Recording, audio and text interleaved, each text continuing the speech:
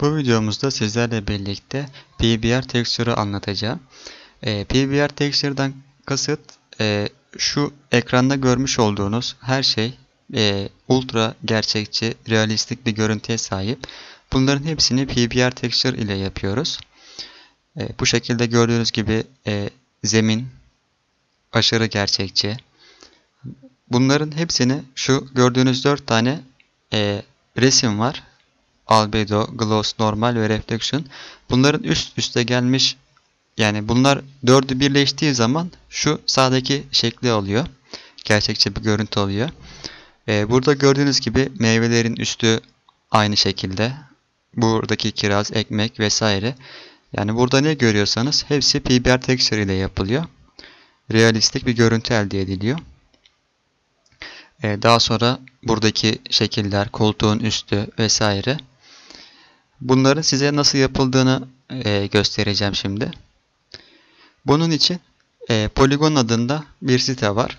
Bu çoğu ücretsiz. içinde ücretli olanlar da var.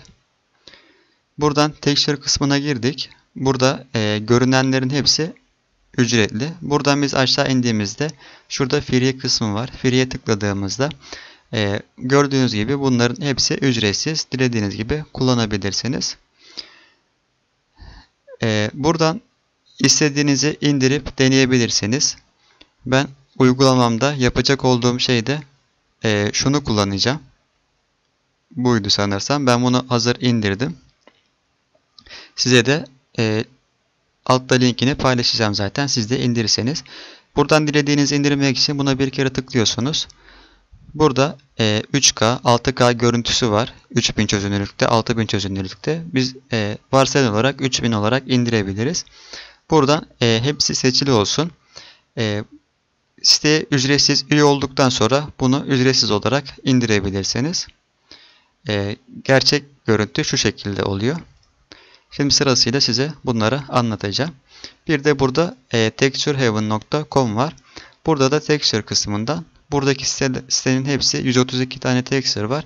Bunların da hepsi ücretsiz. Dilediğinizi kullanabilirsiniz. Ee, şimdi başlayalım. Buradan generale tıkladım. Bu sahnemdeki küpü silerekten e, bir tane sahneme plane ekledim. Şu şekilde uzattım. Daha sonra shading kısmına geldim. Buradan e, benim dosyam masa üstündeydi. Masa üstüne girdim. Buradan e, Val Media. Burada e, buradaki ön izleme, şuradaki de regular kendi kısmı 3K indirmiştik. 3K. Burada e, nesnelerimizin hepsi gördüğünüz gibi gözüküyor. Şuradan ben nesneleri göstereyim size. Arasındaki farkları. E, bizim burada iki tane e, şurada var yazanlar var. Kol var. Burada e, değişiklik gösterebilir. Mesela bir tane daha göstereceğim. Burada da diffli var. Bu diffuse demek. Buna eşit gelen de burada kol varlar. Bu difuz resmin kendisine ait en saf hali. Yani biz bunu e, koyduğumuzda resmin orijinal kendi hali hiçbir efektsiz dümdüz halde resim e, yüzeyimize geliyor. Bunu e, sahnemize eklemek için şuradan tutup e, sürükleyebilirim dilersem. Tabi önce bir tane yeni materyal oluşturalım. Daha sonra istersek de buradan sürükleyebiliriz. Buraya bir kere tıkladığımda şu üstte kol var. Bir gözüktü. Bunu tuttum. Sürükledim bıraktım. Daha sonra bunu base kollara e, eşleştirdim. Şu şekilde görüntümüz geldi. Sadece düz bir resim olarak duruyor. Yani hiçbir gerçekçiliği vesaire hiçbir şeysi yok. Dümdüz. Şimdi bunu e, yavaşça gerçek gerçekçi bir görüntü elde edeceğiz. Daha sonra burada e, mor şeklinde gördüğümüz normal map var. Burada NRM diye geçiyor. Farklı versiyonlarda da yine NOR diye geçer. Genelde bu şekilde mavi gör, e, mor şeklinde gördüğünüz zaman bu normal map'tir. Bu normal map ile e, height poly bir tane nesnemiz var diyelim yüksek çözünürlüklü. Bu yüksek çözünürlüklünün e, dokusunu alıyoruz, texture'ını alıyoruz. Bunu low poly'mizin üzerine koyduğumuzda high poly bir görüntü veriyor, gerçekçi bir görüntü veriyor. E, şimdi bunu size anlatacağım. Buradan normal map'imi koydum. E, mor olan şuradaki. Ee, bunu direkt buradaki normalle eşleştiremem. Çünkü biri kalır, biri nor- normal. Buradaki hatta şeyler de farklı. Biri sarı, biri mor. Bunun için Shift A ile tıklıyorum. Vektörden normal map ekliyorum. Bunu ekledikten sonra gördüğünüz gibi artık bunları birbirine eşleştirebilirim. Şuradan bunları birbirine eşleştirdikten sonra şunu color space'ini non color yapacağım. Renk vermek istemiyorum. Bu şekilde biraz daha gerçekçi görüntüye sahip oldu. Şimdi yavaş yavaş ilerleyeceğiz. Bu strength'ten bunun gücünü arttırabilirsiniz. Gerçekçilik gücünü. Size kalmış. Ee, daha sonra buradan sırasıyla devam ediyorum. Şurada gördüğünüz gibi e, gloss var. Buradaki gloss şuradaki roughness'a eşdeğer. Farklı versiyonlarda da direkt şurada rogue diye yazar zaten. Şimdi bu e, gloss'u dahil edeceğim. Şuradan üzerine tıkladım. Gloss geldi. Bu gloss'u da buraya koydum. Şöyle kısımlarımı birazcık e, düzenleyeyim. Bu roughness bizim ne işe yarıyordu? Şu şekilde parlaklığını yansımasını arttırıp azaltıyordu. Biz bu hazır resmin şeyini kullandığımızda otomatikman yansıması ona uygun bir şekilde olacak. Gerçekçilik katacak. Ee, onun haricinde başka ne kaldı? Şu ikisini ben fazla kullanmıyorum. Ref ile AO'yu. Daha sonra display, Displayment Map var. Bu Displayment Map de normal map'ten e, aynı olaraktan e, gerçeklik gerçek bir şekilde geometrisini ekliyor. Mesela şu taşların taş görüntüsünü vermek için, girinti çıkıntı vermek için Displayment Map kullanıyoruz. E, bunun için şöyle yapacağım. E, sahneme önce Edit moda geçerekten birazcık Subdivide yapıyorum ki bunları Display yapacağım. Bu kadar e, çözünürlük yeter. Subdivide yeter. Daha sonra buradan geldim Add Modifier'dan. Buradan Displays e, yerine tıkladım. Displays'e tıkladıktan sonra e, buradan New'e bastım. New'e bastıktan sonra şu en alt kısımda e, materyal kısmı var. Buradan ben tekstür ekleyeceğim. Şurada üzerine tıkladım. E, display var bir. Ben bu display var biri sahneme dahil ediyorum ki burada gözüksün diye. Şu anda burada gördüğünüz gibi gözüküyor. Bunu artık silebilirim burada. Buradan display varı seçtim. Gördüğünüz gibi bu şekilde bir girinti çıkıntı aldı. Yani şu ekranda ne görüyorsa ona göre işlem yapıyor. Bu color space'ten de bunu non color yapıyorum. Şu roughness'ı da non color yapmayı unutmuşum. Bundan non color yaptım. Ee, daha sonra buradan modifier kısmından bu strength özelliğini hafif düşürüyorum. Bunu birazcık yükselttiğimde taşlar mesela şu şekilde girintili çıkıntılı gösteriyor. Ben bunu birazcık e, düşüreceğim. 0.050 yaptım mesela. Bu şekilde birazcık daha gerçekçi oldu.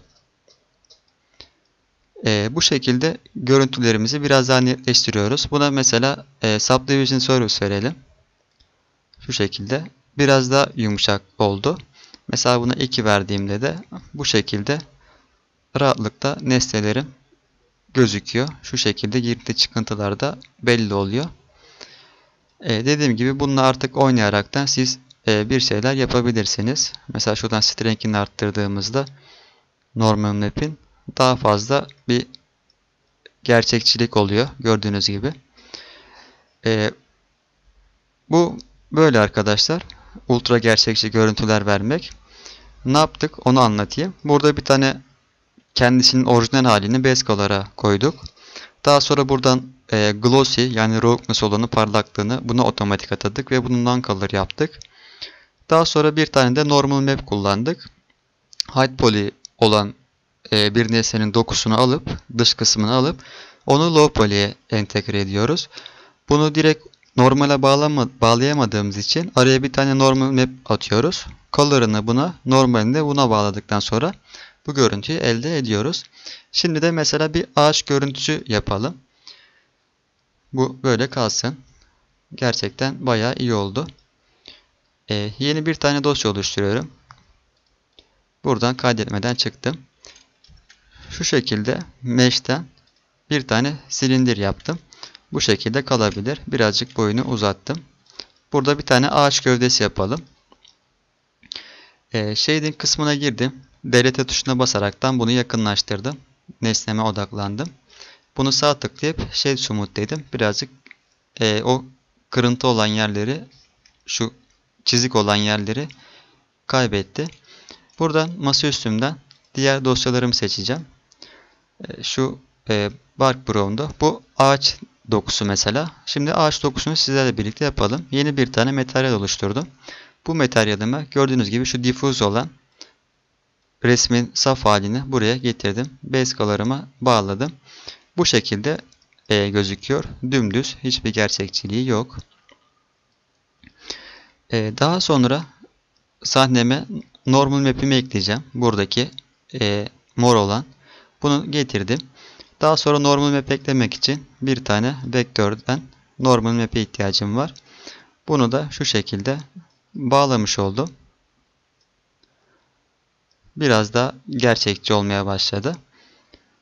Ee, daha sonra bizim bir de şurada gördüğünüz üzere e, bump var. Bu bump map height map olarak da geçer. Bir height map, bir bump map iki türlü oluyor. Bu da yüzeydeki girinti ve çıkıntılarını e, tamamlamasını sağlıyor. Yani yüzeyde girinti ve çıkıntı oluşturuyor. Bu bump map'i de koydum. Bu bump map'i kullanmak için bunu direkt kullanamıyorum. Shift A ile vektör kısmından buradan e, bump'ı ekledim. Bu bump'ı kullanmak için şu şekilde yapıyoruz. Artık bu normalin bağını koparıyorum. Normal map'i bu e, bump'ın normaline koyuyorum. Ve buradan da bunu normale e, eşleştirdim. Daha sonra bu color'ı da bunun height'ına yani yüksekliğine ekliyorum. Gördüğünüz gibi baya bir gerçekçi bir e, ağaç gövdesi oldu. Bunu strength'ini düşürerekten e, ayarlamasını yapabilirsiniz. Distinct yaptığınızda e, şu şekilde daha bir gerçekçi görüntü oluyor. Bunu non-color yaptım. Aynı şekilde normal map'i de non-color yaptım. Bu şekilde normalde düz bir e, silindir. Fakat bu şekilde yaptığımız için gerçekçi bir görüntüye kavuşuyor. Ve yüzey sayımız da 34. Bayağı düşük bir sayı. E, bu bu şekilde. Şunların hepsini tutup aşağı çekeyim. Burada bir de e, hangisi vardı? Rogue var. Bu Rogue'u da buraya getirdim. Şöyle bir kere tıklayaraktan sürükle bırak yaptım. Bu Rogue'u da bu Rogue nese verdiğimde bundan kalır yaptığımda e, parlamasını da ışıklandırmasını da ayarladım. Bu şekilde gerçekçi bir e, ağaç gövdesi yapmış olduk. Tekrar edecek olursak normal diffuse'u kendi base color'ına e, roughness olanı roughness'e e, bump'ı kullanmak için yani nesnelere girinti çıkıntı vermek için bir tane bump editörüne ihtiyacımız var. Onu koyduk. Bunu yüksekliğine verdik. Daha sonra normal map'i de buna bağlayaraktan normaline verdik. Bu bump'ın normalini de e, principle'ı normaline verdiğimizde bu şekilde e, kullanmış oluyoruz. E, PBR ile anlatacaklarım bu kadar arkadaşlar. Bir sonraki videomuzda görüşmek üzere.